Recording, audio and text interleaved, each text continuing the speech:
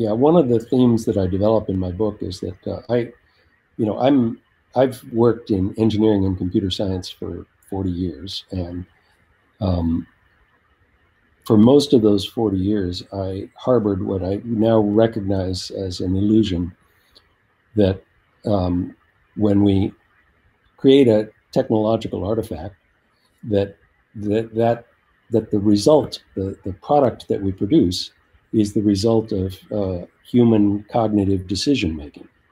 Uh, in fact, I coined the term digital creationism in my book mm. for this idea that these technological artifacts are things that we um, have designed through a top down, intelligent design, deliberative process. Um, I now realize that's actually not true. Hmm. Uh, and it's particularly not true of complicate, complex software systems because the engineers that are involved, they first of all, they never start with, you know, just a blank text editor and start writing code. That's not the way it happens, right? The way you build software is you take pieces of software from here, pieces of software from there, and you combine them. And you stitch pieces of software together to, in effect, create a mutant of hmm. uh, those original pieces of software. You can think of the, the, code that you're working with as almost like the genetic material hmm. in that software. I call it the codome in my book.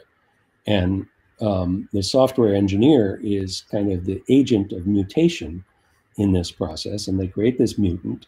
And most of these mutants die out, but a few of them survive. And the reason that they survive is often inexplicable. So we tend to think, for example, that, um, well, all right, so the, the people who designed Instagram must have been really good software engineers because it took off and was very successful uh, in the marketplace. But really, no. Uh, actually, there were thousands of you know very similar kind of mechanisms that lots of people were experimenting with, and most of those mutants simply died out. And the ones that survived survived for very complex reasons that are often in retrospect very difficult to to discern. And so they're not it it's hard to uh, explain this process as the result of top-down deliberative design. Mm. it's really much more like a darwinian evolution.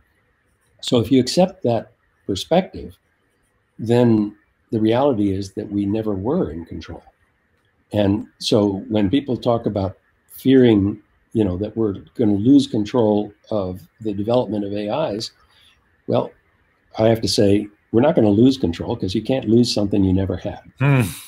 Um, mm. So if you understand that this process is is kind of co-evolving, it's actually it's a co-evolution, not just an evolution, right? It's not just software mutating and then you know, facing a survival of the fittest kind of Darwinian selection process. It's it's more complex than that because the humans involved in this process are changing as well. Um, I write a lot of software myself. Uh, I have for my entire career. I mean, I've been writing software since the mid 1970s, and um, I use a lot of software tools. And I've come to realize that the languages, the programming languages, and the tools that I use very, very strongly affect my thinking.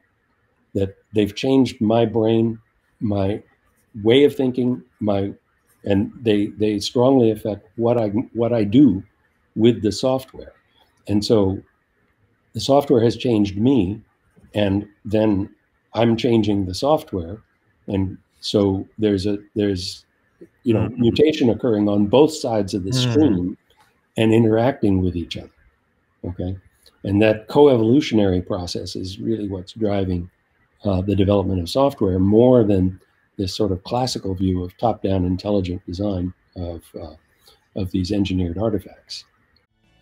Thank you so much for checking out this clip from the Data Talk podcast. To watch the full episode, you can either go to the Experian blog, the URL is experian.com slash datatalk, or you can click on the link which is found in the description of this video.